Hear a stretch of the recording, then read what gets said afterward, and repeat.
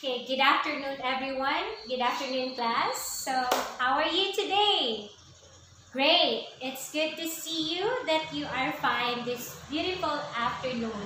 So, are you now ready with our lesson for this afternoon? Okay, good to hear that. So, before we will start with our lesson this afternoon, everybody please stand. Let us start first with a short prayer.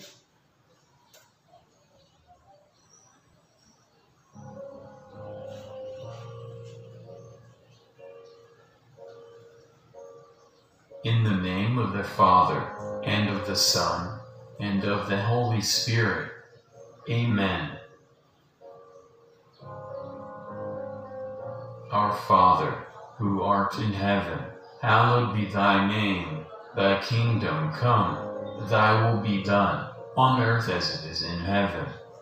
Give us this day our daily bread, and forgive us our debts, as we forgive our debtors and lead us not into temptation, but deliver us from evil. Amen. In the name of the Father, and of the Son, and of the Holy Spirit. Amen. Okay, please, everybody, take your seat, arrange your chairs, and pick up pieces of paper. Okay? I hope everything is ready now. So, for our attendance this afternoon, I would like to call uh, every group's representative to tell me who are those absent. Okay, let's start with group one. Okay, that's good. How about group two? Okay, very good. All are present. How about group three? That's great. Group four.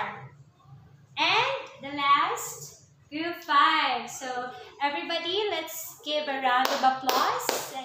Everybody is everybody are all present for this afternoon.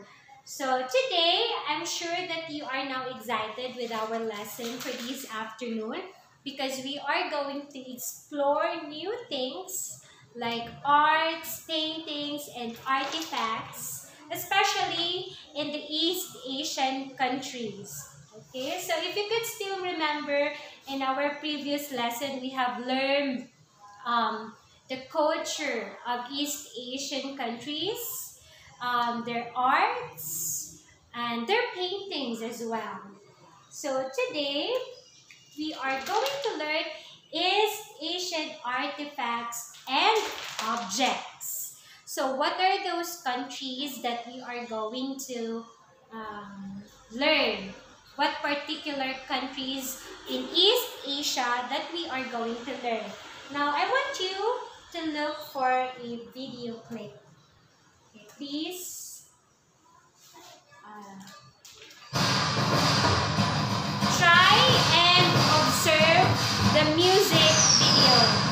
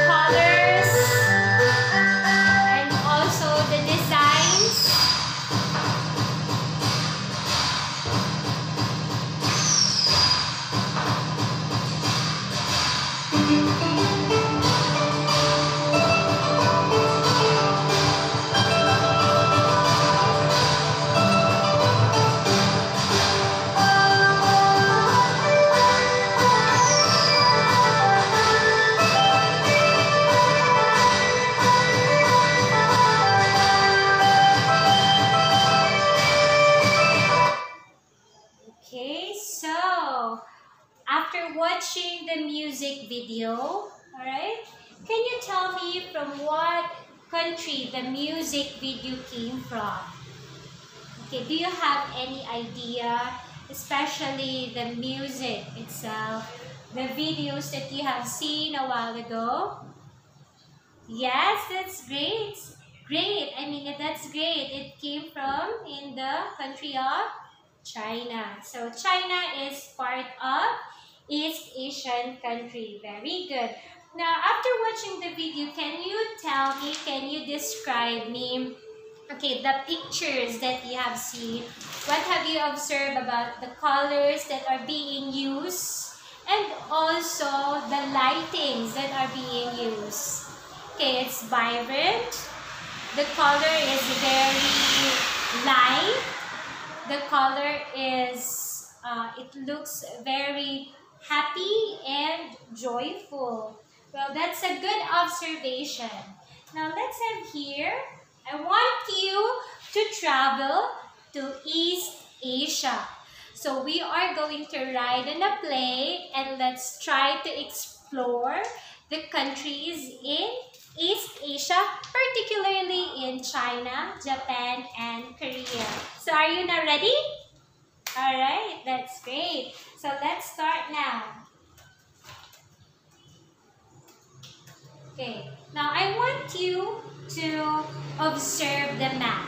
Okay, let us try to look at the map and tell me Okay, the particular countries in East Asia. Okay, just I'll just give you uh, China, Japan, and Korea. Okay. Now, you can see here the map of East Asia. So, can you point out where is China? Okay, we all know that uh, in East Asia, China is one of the biggest country. So where is East Asia? Okay. Yes, this is. So you can see here the country of China. Where, you know, yes, it's where you can see the dragon dance. Okay, where you can celebrate Chinese New Year. Where the music video a while ago is being originated. Now, how about the second country? Can you locate where is Korea? Okay. Okay, you can see here in this country, Korea, North and South Korea. Now, how about the last one, Japan? Can you point out where is Japan? Okay, yes, where is Japan?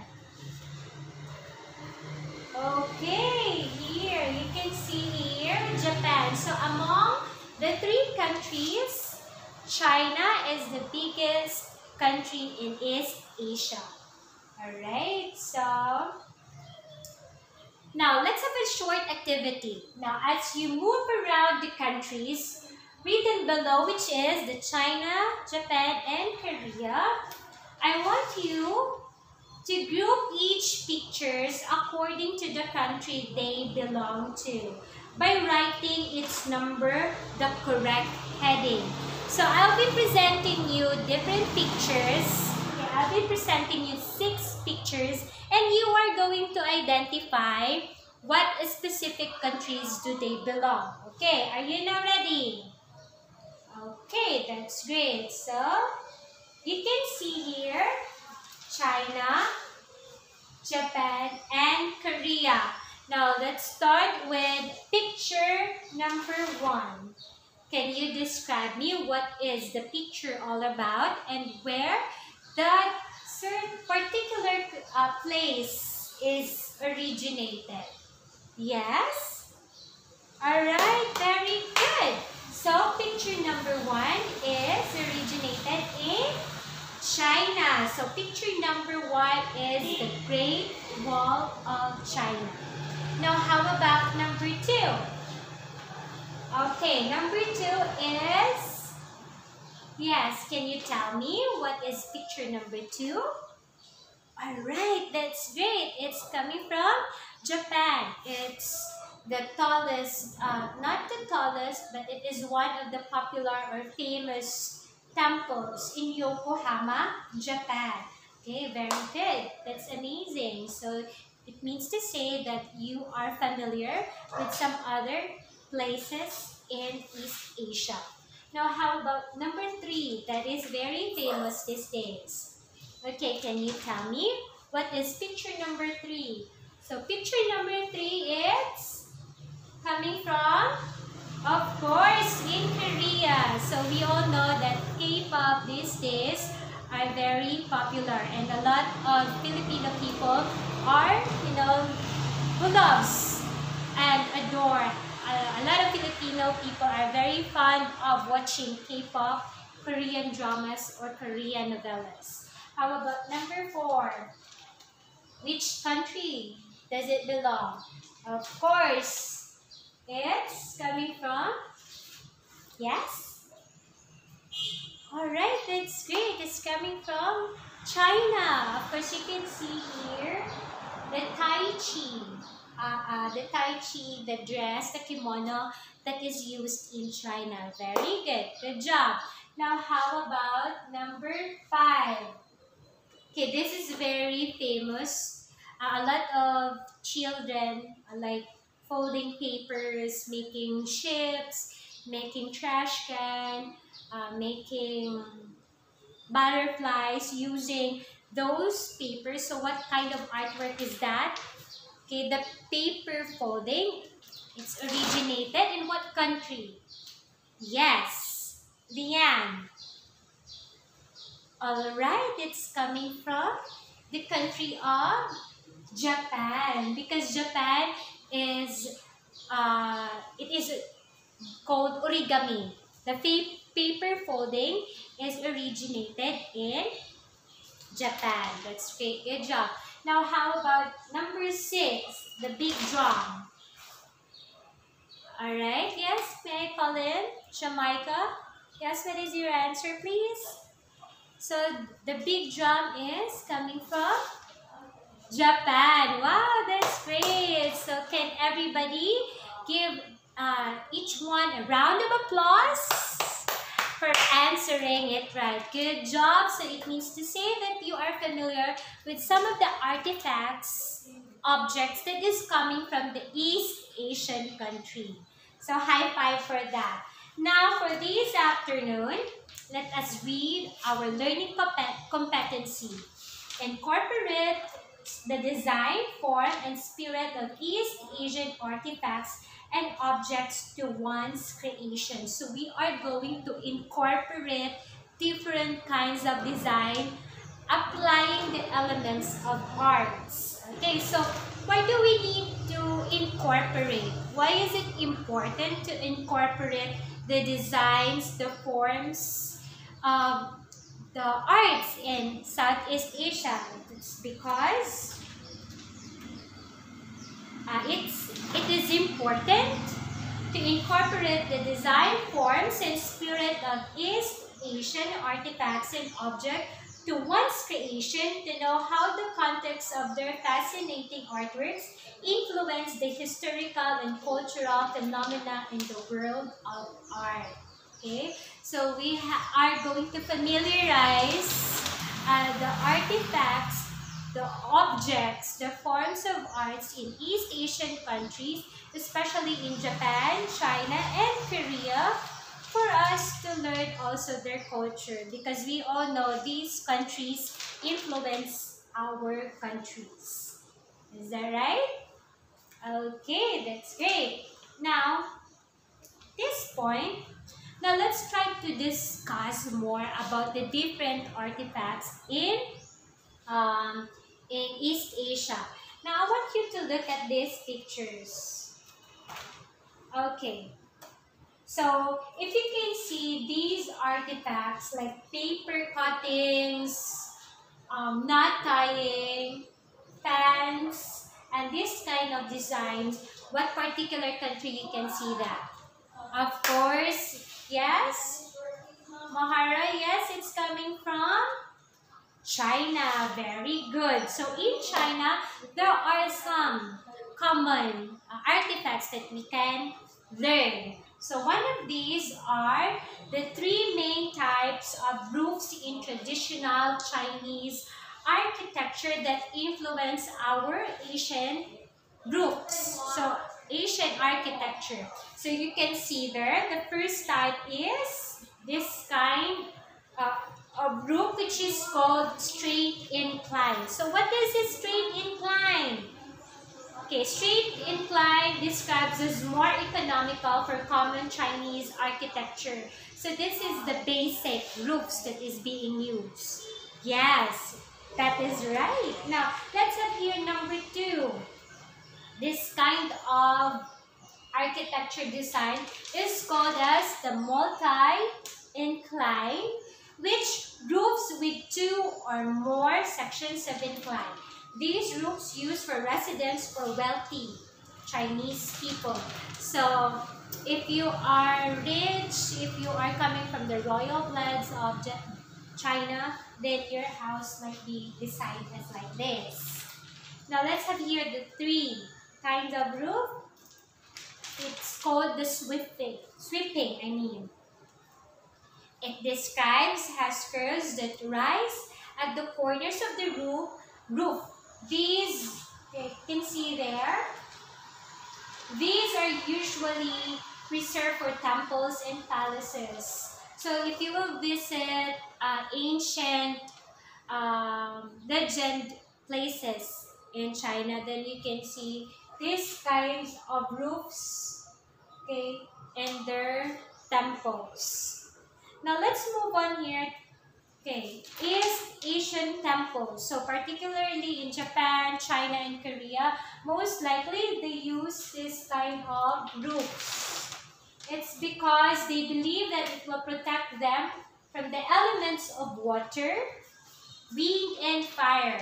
So Buddhist believes that it helped ward the evil spirit, which were deemed to be straight lines. So these are called roof guards. Okay, so everything's clear? Alright, that's great. I hope that everything's clear. Now let's move on to the next um, artifacts or objects that we can found in China, which is called, okay, the calligraphy. Okay, if we all know, okay, calligraphy is the art of beautiful handwriting, traditionally Painting involves essentially the same techniques as calligraphy and is done with a brush dip in black or colored ink oils not used. So, we are already practicing, practicing and using the calligraphy already. So, different designs of uh, calligraphy that is written in the scroll or in the wall paintings. Okay, now that are those are example artworks or artifacts in China. Now let's try to move on this uh, next country. Now you can see there, okay, paper folding, pans, paintings. So which particular country does it originated? So it is originated in the country of, alright, in Japan. So as you can see, the artifacts in Japan and China are most likely uh, the same. It's because uh, there are neighbor neighboring countries and they influence each other. So one of the artifact, famous artifacts in Japan is what I have said a while ago is the paper folding. So it is called as origami in Japan. So the term origami came from ori, meaning it's folding. So you're going to fold papers. And kami meaning paper. So ori means um, folding and kami means paper. So it is traditional Japanese art of paper folding. Traditional origami consists of folding a single sheet of square paper into sculpture without cutting, gluing, taping, or even making it. So, um, we are adopting origami already in the Philippines. So we sometimes use origami in making swans, in making vase, in making uh, flower pots, and sometimes pencil holders. So we adopted this one in Japan. Okay, the next artifact also is the wood block printing. Okay, so the best known and most popular style of Japanese art is the ukiyo-e, which is Japanese for pictures of the floating world. And it's related to the style of woodblock print, making that show scenes of harmony and carefree. So it's somewhat like putting a dot or carving in a block or in a wood. So that is one of the famous artifacts also in Japan. Now let's try to move on to our next country. Okay, so you can see there with different artifacts. Okay, so we have here Korea. So the first one is China, the next one is Japan, and the third one is Korea. So for Korea, one of the famous artifacts there is the Korean mask, which is so-called the style or ta'ao. Okay, originated with religious meaning, just like the mask of other countries, which also have religious or artistic origins. Korea has a rich history of masks. They use it in funeral services to help banish evil spirits. And theater plays dating back to the prehistoric age, masks were often made of alder wood with several coats of lacquer to give the mask gloss and waterproof them for wearing. They usually use painted and often hand hinges for mouth movement. So for the mask in Korea, particularly each of the colors that are being applied, that are being used in the mask is that has a represent representation. So if it's color blue, it has a meaning. If it's color white, it has meaning also. Usually they said white, it means purity. Blue, it means royalty.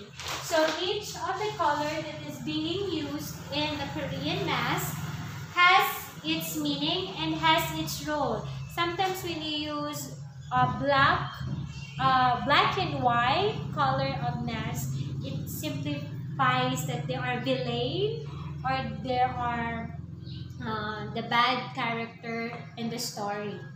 Okay, so do you have any questions? Do you have any clarification? Yes? Is every, everything's clear? Okay, I guess everything's clear then. Now let's try to make an activity this afternoon. So you prepare your bond paper, your pencils, your ball pens, your markers, because we are going to try uh, some of the uh, some of the artifacts in East Asia. Okay, so for our first activity, Write your selected verse or message in calligraphic style that incorporates the design. This may be about animals, people, landscape, and anything about the environment, form, and spirit of East Asian artifacts. So you're going to affix your nickname or your signature. You can use paintbrush if you want to. You can use colored pencil or you could also use um, ball pen if you if you don't have any other materials. So if you are not uh, if you are not uh, available, if you cannot do it, then you could maybe cut out pictures. Okay? Now let's have here example of calligraphy using uh, your verse or your favorite codes. So I have your example. Trust is the timing of your life. Okay? I have also here, be brave.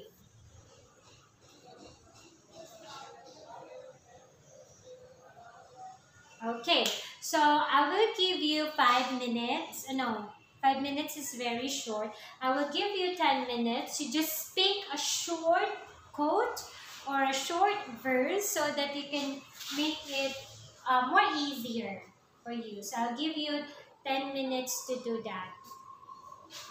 Okay?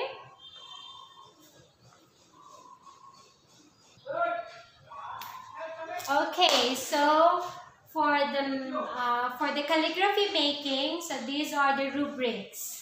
Okay, you have here category following directions, creativity and workmanship, incorporation of designs, forms and elements of arts from East Asian countries. So you look at the rubric so that it will be your guide and how you are going to make your own uh, simplified calligraphy.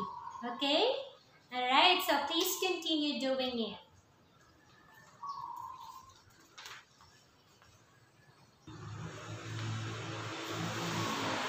Okay, so I guess everybody is done.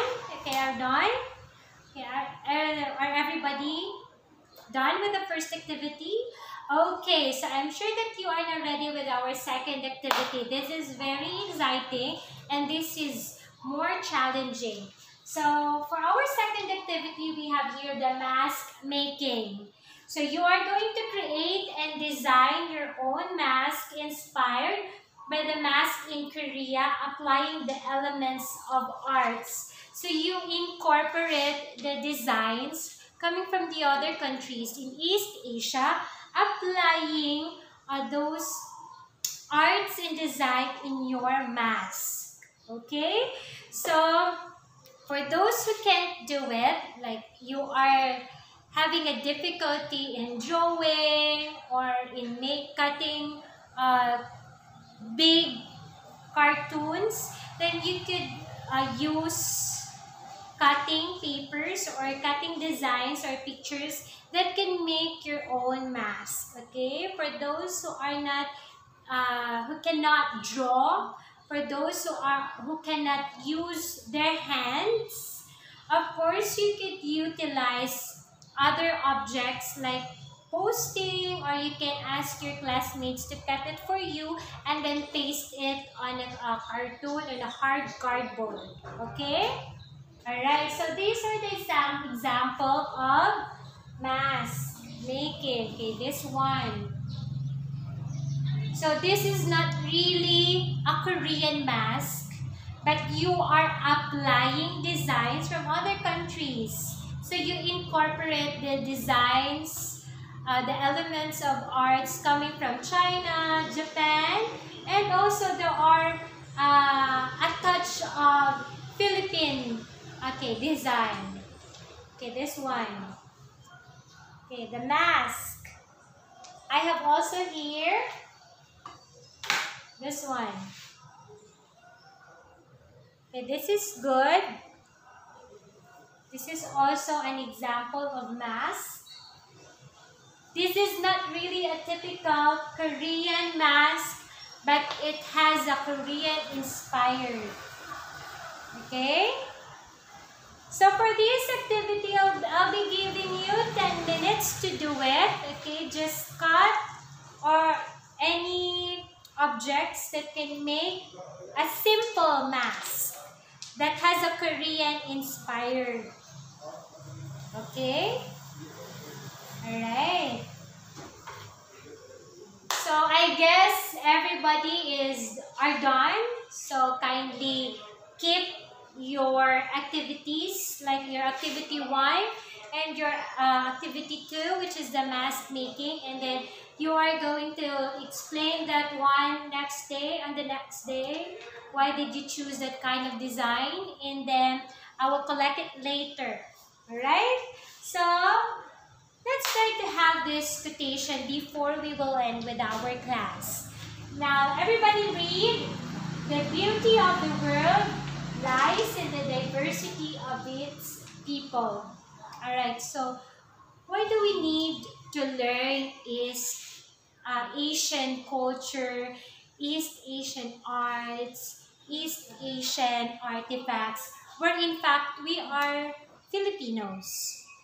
What is your main idea? Why do we need to learn all of these things? Why do we need to incorporate designs from one a country to another country? Okay, it's it is because we are okay in one world.